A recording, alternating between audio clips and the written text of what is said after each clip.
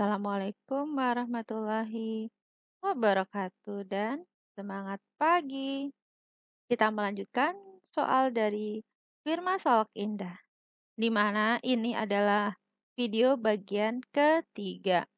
Ini merupakan voucher kas kecil untuk pembayaran langganan majalah dan koran bulan Desember 2016.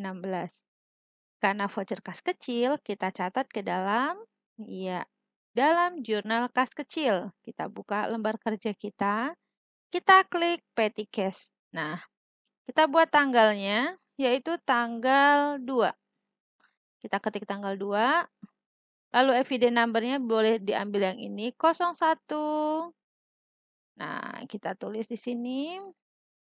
Lalu, account yang kita gunakan untuk pembayaran langganan majalah dan koran, kita gunakan akun akun ini dia newspaper and tabloid S Pen.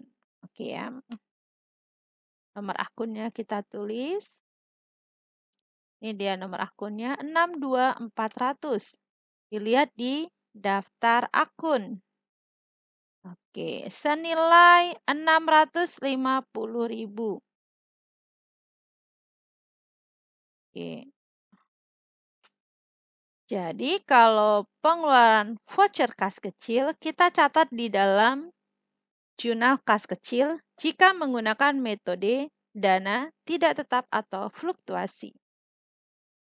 Untuk pencatatannya, seperti biasa, masukin tanggalnya, lalu evidence number-nya, lalu account-nya sesuai dengan transaksi. Karena di sini pembayaran langganan majalah dan koran, kita masukin ke newspaper and tablet expense lalu catat nomor akunnya, dilihat di daftar akun, lalu ketik angkanya sesuai dengan soal, nah kreditnya juga sama.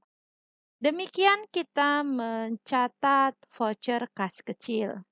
Terima kasih atas perhatiannya. Sampai ketemu di video berikutnya. Wassalamualaikum warahmatullahi wabarakatuh. Dan semangat pagi.